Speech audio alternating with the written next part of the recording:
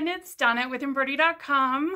I had a customer question today on how to thread the uh, punch needle tool that we have and decided it was easier to explain it in a video than to write it all out. so let me tip the camera down and I will show you.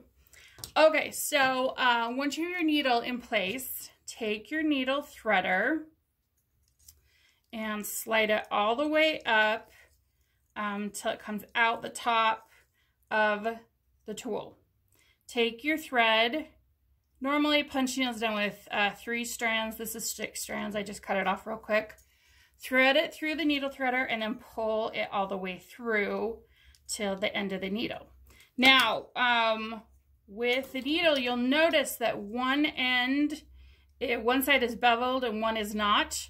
So on the side that's not, going toward the side that is beveled, you will put the needle threader through the eye and then you will thread that through the threader and then just pull it through.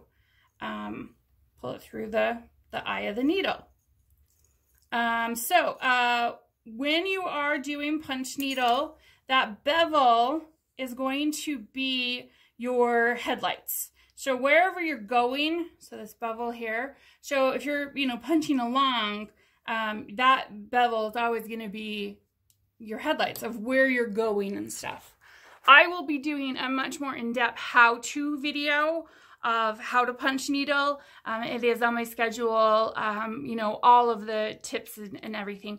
Punch needle is super, super fun. If you can color in a coloring book, you can punch needle. It's it's super fun um, and you get an amazing effect and it looks really, really cool too. So, okay, that is how to thread the new punch needle. Look in the um, upcoming weeks um, for the how-to punch needle um, as I'll be doing a video on that soon. So, okay, thanks everyone. Happy stitching. We'll see you next time. Bye.